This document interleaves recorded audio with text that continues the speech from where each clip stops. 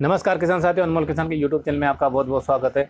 तो किसान साथियों, इस वीडियो में आपको बताऊँगा कि जो चने की बीज उपचार है, वो आप कैसे कर सकते हैं और बीज उपचार क्यों करना चाहिए और कौन सा प्रोसेस होता है जो बिल्कुल सही होता है और बीज उपचार करने से आपको क्या क्या फ़ायदा होता है।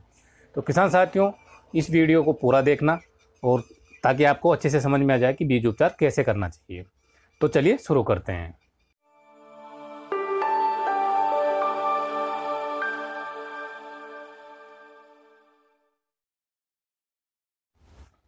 तो किसान साथियों, चने की बुआई करने से पहले बीज उपचार क्यों ज़रूरी है? बीज उपचार इसलिए ज़रूरी है क्योंकि कुछ रोग ऐसे होते हैं जो चने में लग जाते हैं, जिसके कारण चने की फ़सल सूखने लगती हैं। और चना एक वाटर सेंसिटिव क्रॉप है तो इसमें ज़्यादा पानी की ज़रूरत नहीं पड़ती है। ये कई कई जगह तो बिना पानी के भी इसकी फ़सल हो जाती है और कई जगह एक एक पानी की ज़रूरत पड़ती है, उसी में भी पूरी फ़सल ले सकते हैं। अगर रोग बाद में आएगा तो आपको दवाई छिड़कनी पड़ेगी और उसके बाद पानी पिलाना पड़ेगा, तभी वो दवाई काम करेगी। तो ऐसी नौबत ही ना आए। इसके लिए पहले से बीज उपचार अगर आप कर लेते हैं तो आपको कई समस्याओं से छुटकारा मिल जाएगा। तो चलिए शुरू करते हैं। अब अब मैं आपको बताता हूँ कि कैसे आप किन किन चीज़ों से बीज उपचार कर सकते हैं। उगटा रोग और जो जड़ गलन का रोग होता है, ये बहुत ही भयानक रोग होता है चने में, और इससे पौधे सूखने लगते हैं। तो किसान साथियों, इससे बचने के लिए हम कुछ फंगिसाइड होते हैं, उनसे बीज उपचार करते हैं। तो आप जानते हैं कि कौन कौन से जो फंगिसाइड होते हैं, उनसे हम बीज उपचार कर सकते हैं। तो एक तो कॉम्बिनेशन होता है कार्बोक्सिन और थीरम का। ये बहुत ही लेटेस्ट है, बहुत ही बढ़िया टेक्निकल है, होते हैं दो टेक्निकल हैं इसमें। एक तो कार्बोक्सिन होता है और एक थीरम होता है। ये दो फंगिसाइड मिला के एक कॉम्बिनेशन बनाया गया है। ये बाज़ार में अगर मैं ब्रांड की बात करूँ तो विटावेक्स पावर के नाम से मिल जाता है, उसके अलावा प्रोवेक्स के नाम से मिल जाता है। तो इनसे भी आप बीज उपचार कर सकते हैं। उसके अलावा अगर मैं आप ये तो लिक्विड फॉर्म में होता है कार्बोक्सिन और थेरम वाला लिक्विड फॉर्म में होता है। एक और होता है, जिसको बोलते हैं थियोफिनेट मिथाइल और पायरो क्लोस्ट्रोबिन का मिक्सचर ये भी बहुत ही बढ़िया टेक्निकल होता है थियोफिनेट मिथाइल का और पायरा क्लोस्ट्रोबिन जो फंगिसाइड है, इसका जो कॉम्बिनेशन है, ये भी बहुत बढ़िया होता है। अगर इसमें मैं ब्रांड की बात करूँ तो बी जो कंपनी है, उसका जेलोरा दवाई होती है, उसमें ये टेक्निकल होता है। तो आप इससे भी कर सकते हैं, ये भी लिक्विड फॉर्म में आपको बाज़ार में मिल जाएगा।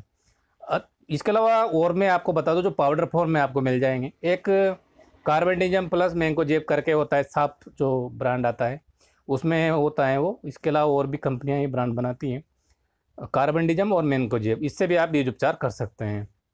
इसके अलावा थियोफिनेट मिथाइल सत्तर प्रतिशत आता है। ये भी पाउडर फॉर्म में होता है और इसमें कोई भी कॉम्बिनेशन नहीं होता है। थियोफिनेट मिथाइल से भी आप बीज उपचार कर सकते हैं और इस बीज, जो समस्या है, इससे अपनी जो क्रॉप है, उसको बचा सकते हैं।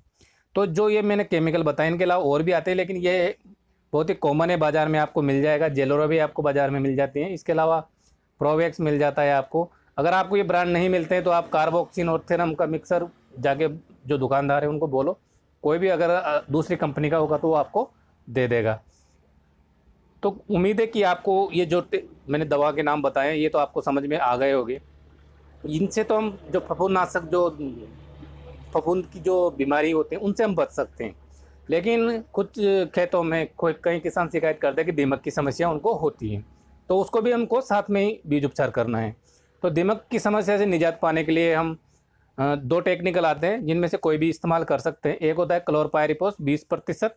एक होता है थाइमेथोक्सम सत्तर प्रतिशत। इन दोनों में से कोई सा भी आप इस्तेमाल कर लीजिए, आपको जो दीमक की समस्या है, उससे निजात आपको मिल जाएगी। अब एक चीज़ और होती है वो होती है कल्चर कल्चर यानी कि जो बायोलॉजिकल बैक्टीरिया होते हैं, उनसे भी कई किसान बीज उपचार करते हैं साथ में। तो आप राइजो, वो जो बैक्टीरिया होते हैं, उनके नाम मैं आपको बता दूँ। एक तो राइजोबियम होता है और एक होता है पीएसबी यानी कि पॉस्पेट सोलिबलाइजिंग बैक्टीरिया। तो इन दोनों से भी आप बीज उपचार कर सकते हैं। तो इनका प्रोसेस क्या है? फंगिसाइड, इंसेक्टिसाइड और जो राइजोबियम है, इनको किस क्रम में हमको बीज उपचार करना है? तो किसान साथ इनका एक फिक्स क्रम होता है जिसको हम एफआईआर बोलते हैं। एफ़ मतलब फंगीसाइड यानी कि फफूंदनाशक, आई मतलब इंसेक्टिसाइड यानी कि कीटनाशक, और आर यानी कि कल्चर। कोई भी कल्चर आप राय, जो भी हम या पी जो भी ले रहे हैं, उसको अंत में आपको उससे बीज उपचार करना है। अगर आप कल्चर से बीज उपचार कर रहे हैं तो थोड़ी देर बीज को सुखाने के बाद अच्छे से जब बीज सूख जाए तो आपको तुरंत बुआई करनी होती है, क्योंकि जो बैक्टीरिया होते हैं, वो जीवित होते हैं। अगर आप ज़्यादा देर रुकोगे तो आपका जो बैक्टीरिया है, वो मर जाएगा। अब किसान भाई अब बात करते हैं कि हमको कितनी कितनी क्वांटिटी लेनी होती है। तो जो फंगिसाइड मैंने बताए हैं, उनकी आपको ढाई से लेकर तीन एमएल प्रति किलोग्राम बीज की मात्रा आपको लेनी है। और अगर इंसेक्टिसाइड की बात करो तो भी आपको इतनी ही मात्रा लेनी है, तीन एमएल के आसपास। तीन एमएल प्रति किलोग्राम बीज पर आपको उसका इस्तेमाल करना है। कल्चर की मैं बात करूँ तो आप पाँच ग्राम प्रति किलोग्राम बीज को ले सकते हैं। कल्चर का अगर आप इस्तेमाल कर रहे हैं तो कल्चर पाँच ग्राम प्रति किलोग्राम लेने के बाद आप सौ ग्राम गुड़ और आधा लीटर पानी का गो, गोल बना लीजिए और उससे आप गोल को अच्छे से बराबर पूरे बीज पे डाल दीजिए। और उसके बाद छाया में सुखा दीजिए। अच्छे से सुखाने के बाद आप बुआई कर सकते हैं। उम्मीद करता हूँ किसान साथियों आपको ये जानकारी पसंद आई होगी। अगर आपको पसंद आई है तो आप इस वीडियो को लाइक शेयर ज़रूर कीजिए। हमारे यूट्यूब चैनल पर जाकर चैनल को सब्सक्राइब कीजिए। अगले वीडियो में हम जानेंगे कि जो चने की फ़सल होती है, इसमें खरपतवार का नियंत्रण कैसे करना है। तो तब तक के लिए जय जवान, जय किसान, धन्यवाद।